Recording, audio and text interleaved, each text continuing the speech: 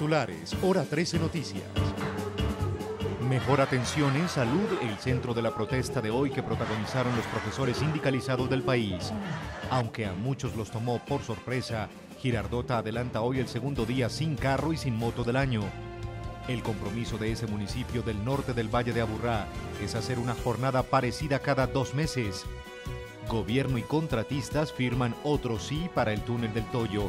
Recibirán 26 mil millones de pesos para gestionar estudios definitivos y licencia ambiental. Contraloría de Antioquia demanda la nulidad del contrato del túnel del Toyo ante el Tribunal Administrativo de Antioquia. Transportadores aseguran que resolución del gobierno crea los taxis de lujo, pero no resuelve el problema de Uber. En el Congreso Nacional de Transportadores, el gremio se queja porque el 75% de sus ingresos se va en impuestos. Líderes de la seguridad privada en el país revisan en Medellín sus retos para los nuevos tiempos. La tecnología, más que amenaza, una herramienta de respaldo para una actividad que aquí genera 30.000 empleos. Hoy en varias zonas de Antioquia se conmemora el Día Mundial de la Leche y se recuerdan sus bondades. Como estrategia de recuperación del centro de Medellín y para generar confianza, Camacol propone construir aparte estudios. El sector privado de la construcción identificó 42 predios para vivienda y sugiere que otros 60 inmuebles abandonados sean repotenciados. La tecnología también puede ser utilizada para mejorar la convivencia en los conjuntos residenciales.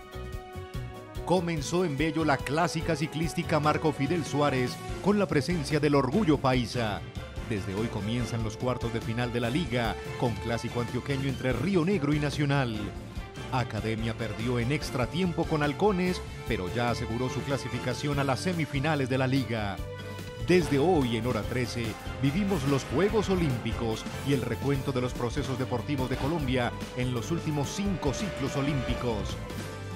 Un domo de 30 metros de diámetro y 15 de alto, nuevo espacio para la educación en Medellín. Se trata de una mega aula que beneficiará a 1.400 estudiantes del ITM en el sector de Boston. Hoy tendremos un postre para sentirse bien.